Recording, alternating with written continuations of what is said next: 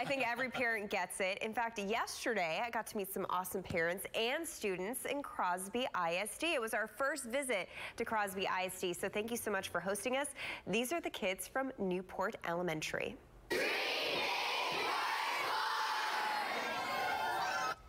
So that is their school motto. Dream big, work hard. You guys awesome. nailed it. If you live by that motto, you are good to go.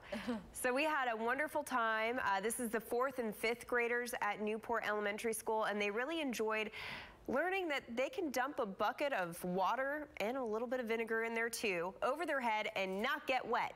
It's always exciting stuff. Uh,